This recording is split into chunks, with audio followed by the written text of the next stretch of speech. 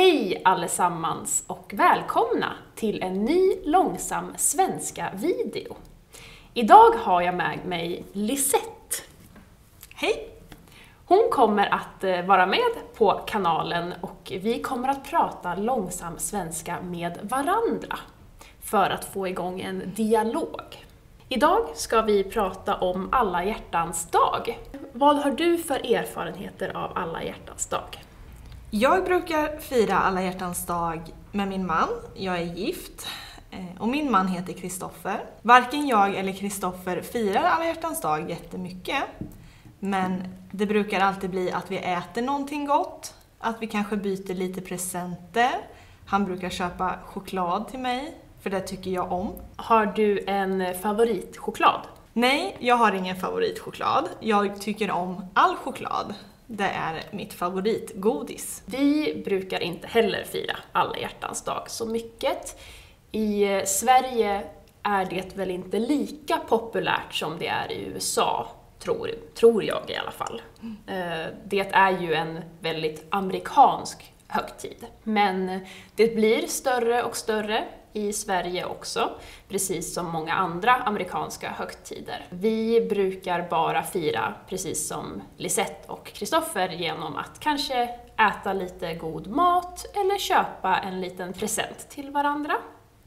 Har ni köpt någon present till varandra i år? Jag har inte köpt någonting till Kristoffer. Men han har köpt ett par underställsbyxor till mig som jag kan ha när vi ska åka skidor. Så det blev jag glad över. Ja, och jag har faktiskt en video på kanalen där jag är i Luleå och åker skidor. Fast det är långfärdsskidor. Åker du långfärdsskidor eller utförsskidor? Ärligt talat så åker jag inte skidor alls, utan jag åker snowboard. Åh, Men det kan man inte åka på längden, utan det åker man ju utför. nerför en backe.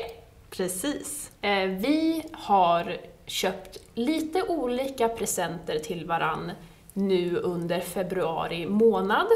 Eh, Vi kallar dem för alla hjärtans dag-presenter, men jag vet inte riktigt om det är det eller inte. Jag köpte en t-shirt till Sonny med hans favoritlag i spelet CSGO. Och eh, Sonny köpte en eh, kaffekopp till mig med en av mina favoritmemes på. Med Baby Yoda. Andra vanliga presenter som man köper på alla hjärtans dag i Sverige är bland annat rosor och andra blombuketter. Det är också vanligt med geléhjärtan, ett sorts godis som vi har. Annars tror jag inte att det är så där jättevanligt Nej. med andra presenter. Smycken och underkläder brukar väl vissa Just. köpa om man vill köpa lite sexigare presenter till varandra. Det gör inte vi. Vi nöjer oss med choklad och mat Och underställ. och underställ. Ni får hemskt gärna berätta i kommentarsfältet hur ni firar alla hjärtans dag. När du var singel, firade du alla hjärtans dag på något sätt då? Ja, det gjorde jag faktiskt. Jag firade nog kanske mer när jag var singel än när jag var i ett förhållande. Då firade jag ofta med mina andra singelkompisar. Och vi brukade gå ut och äta och kanske dricka lite drinkar och ha det trevligt ihop. Mm. Så det kan man ju också göra om man inte har en partner att fira med. Man kan ju fira med alla man tycker om i livet. Jag kommer att fira med min mamma och min hund för Sonny, min pojkvän, ska på konsert. Men det är okej för mig, för jag bryr mig inte så mycket. Så ni får gärna kommentera vad ni planerar att göra på alla hjärtans dag, eller vad ni gjorde om ni tittar på den här videon i efterhand. Det är alltid bra med tips. Ja, precis.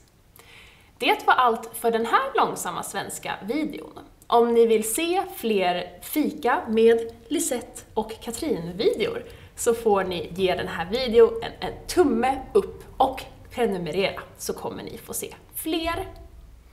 Tills nästa video får ni ha det superbra. Hejdå! Hej då!